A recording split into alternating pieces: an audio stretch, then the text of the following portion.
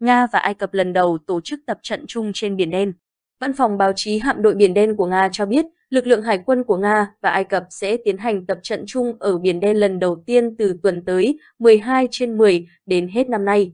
Theo thông báo chính thức, trong các cuộc tập trận này, các tàu chiến của hạm đội Biển Đen của Nga và Hải quân Ai Cập sẽ thực hành các biện pháp với sự hỗ trợ của máy bay nhằm bảo vệ những con đường trên biển trước nhiều mối đe dọa.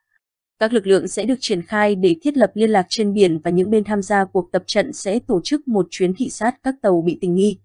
Đây cũng là lần đầu tiên Nga và Ai Cập tổ chức các cuộc tập trận quân sự chung trên Biển Đen với mục đích tăng cường và phát triển sự hợp tác quân sự giữa hải quân hai nước vì lợi ích an ninh và ổn định trên biển, đồng thời trao đổi kinh nghiệm giữa hai bên nhằm ngăn chặn các mối đe dọa trong hoạt động vận chuyển trên biển.